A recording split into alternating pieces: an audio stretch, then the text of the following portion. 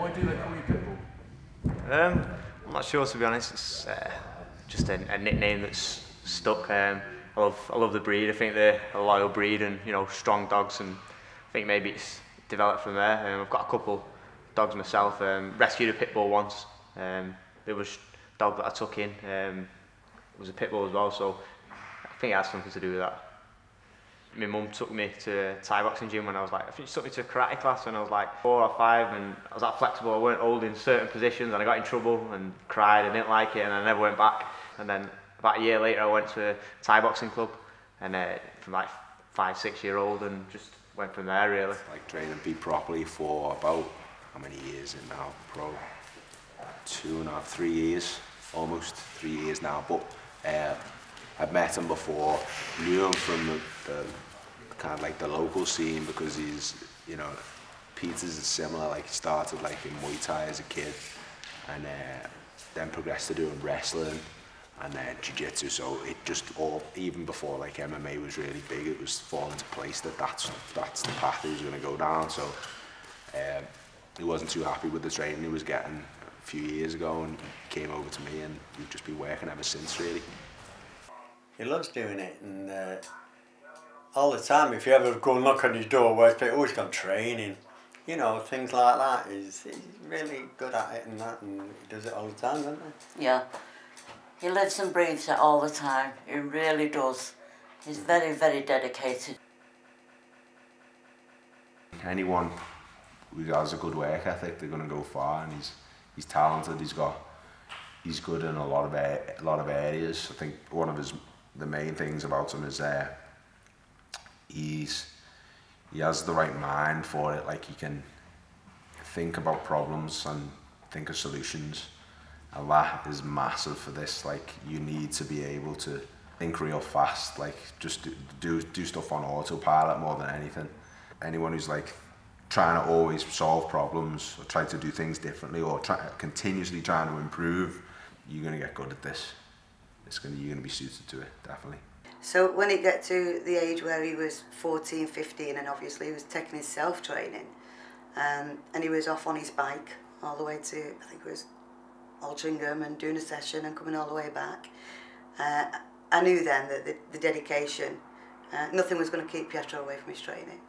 Um, and, it, and even, you know, when he was younger, that was my outlook. I was a single parent, a working single parent. Um, there was times I would have been better off on benefit, but that wasn't a road I was willing to go down.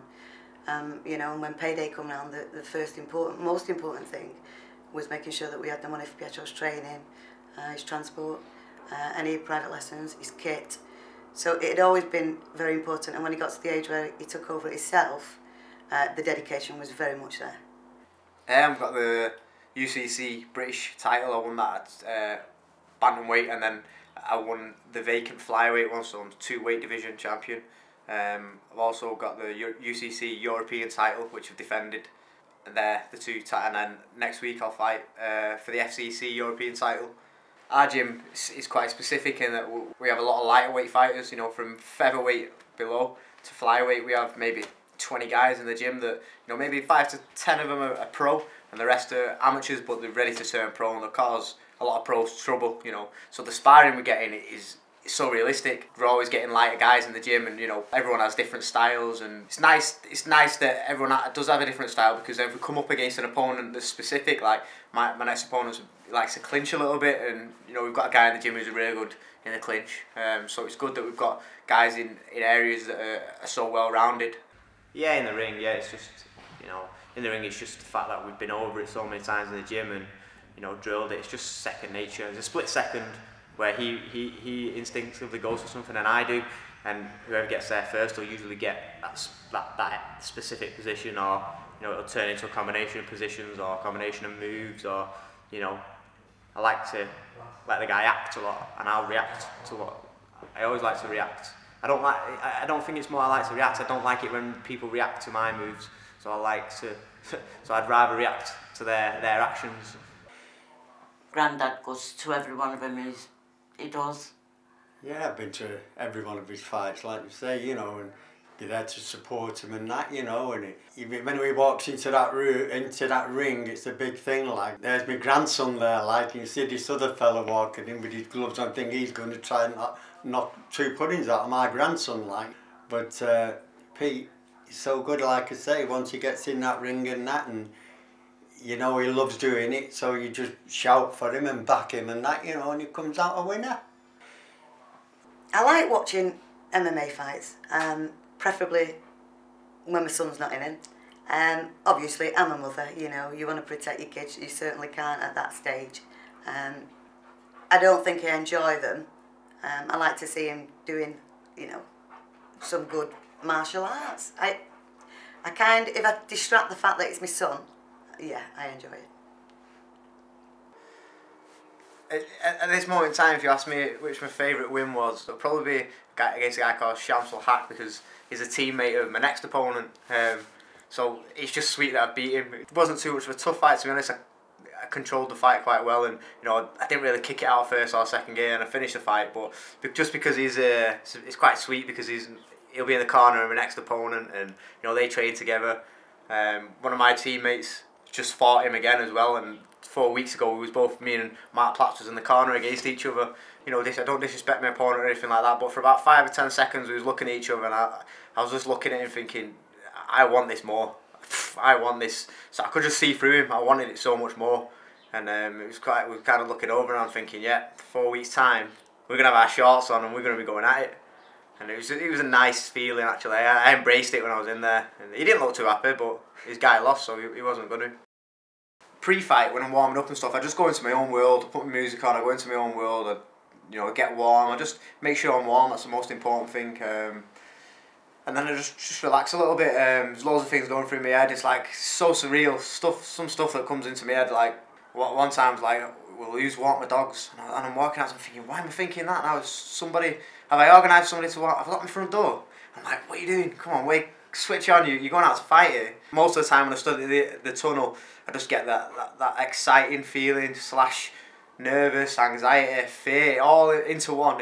Everything's like rolled up into a big ball in my stomach. All these emotions, and then as soon as I walk out, there's nothing really there to be honest. When I when I, when I get in there, um, yeah. So sometimes I think what when I'm stood at that tunnel, I'm thinking, what am I doing?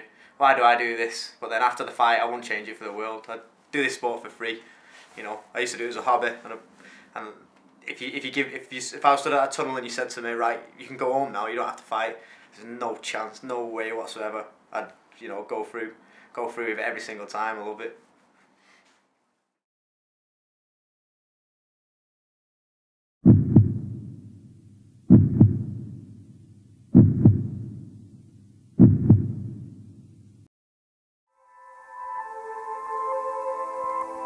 Stupid man will, will say he's not nervous or he doesn't feel fear. I, I feel fear, but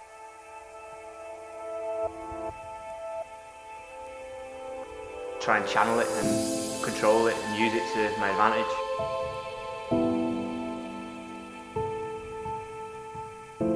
Really acknowledge anybody there. You know, it's it's quite selfish, but you're in your own world.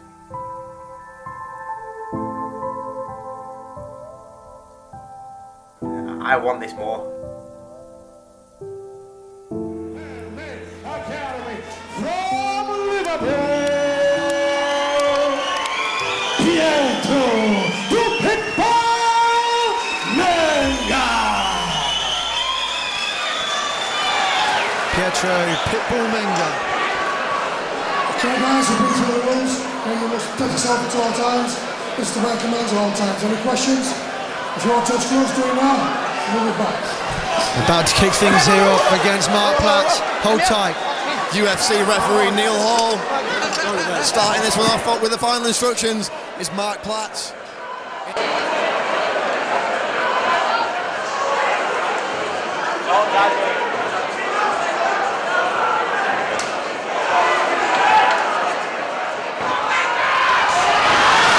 Oh, beautiful takedown gets Menga. Caught the leg kick to the swept the leg, put him on his back. And this really is Pietro Menga's domain. Already struggling here. Pietro Menga's currently on the wrong side, but he's looking to step over into Mount. Pats is aware of the danger he's in, doesn't want to let him step through.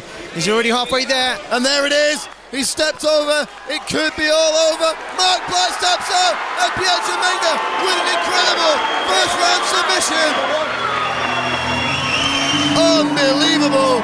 Pietro Menga is the real deal. Unbelievable work there from Pitbull Menga. Very patient guys watching here on the amateur side of things need to watch that. Calm, collected, patient. Just took his time, wore his opponent out, and uh, yeah, what a fantastic uh, submission to end up. Absolutely fantastic night here at FCC 5 here at the Bolton Stadium, uh, Reebok Stadium in Bolton. And we're getting covered in Pietro Menga's sweat right now, and I feel privileged Oh, it tastes good. to have the body juice of Pietro Manga all over my face. Brad, it's been an absolute privilege. Once again, we've had an absolute treat here. Absolutely. Another fantastic night for Full Contact Contender. Our biggest main event yet. The entire show lived up to the hype as Pietro Menga embraces his coach, Jason Tan. Incredible performance from Pietro Menga. And what more can we say? A valiant losing effort from Mark Platts. Much respect to both fighters. Referee Neil Hall calling the fights to the centre of the cage as we throw it to one final time to Jonathan Miller to make this one official. So, ladies and gentlemen, after two minutes and 42 seconds of the first round, your winner, by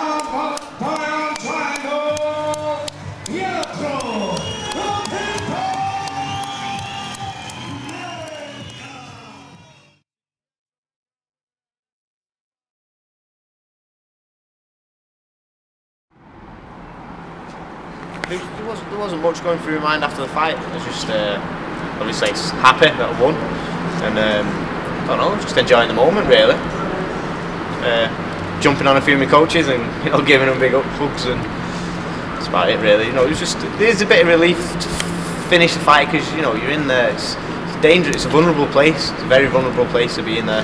You know, and you can get you know sometimes you can get put in bad situations. So it's nice to you know come out healthy and safe, and my opponent come out healthy and safe as well. I've got a fight, got a fight planned uh, for June.